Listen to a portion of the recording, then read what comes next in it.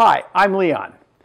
This series is a series of mission dining tables that we're building, a slightly simpler mission base. Instead of having the more intricate Stickley base that we offer, this one has a simple octagon column with mission legs that come out.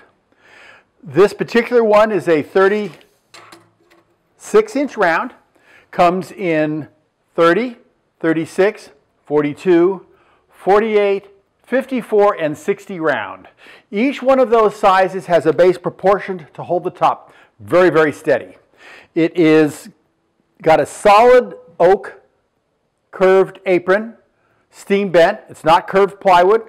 The finish is a catalyzed conversion varnish. We offer all of our finishes in this series and they're priced very, very competitively for an American-made solid oak table. We can also make rectangular tables in these and square. So if you'd like to get a 36 by 42 or a 42 by 60, we'll build it with a center pedestal and we proportion the base to hold it. We'll have two legs long and two legs short to do a rectangular table, but you'll have a table that will be a table forever. Full one inch thickness. You can get quarter sawn white oak, plain cut red oak, solid walnut, solid maple, solid cherry, any kind of edge detail you want we can build a table for you and we stock them in rounds and you can come in and pick one up.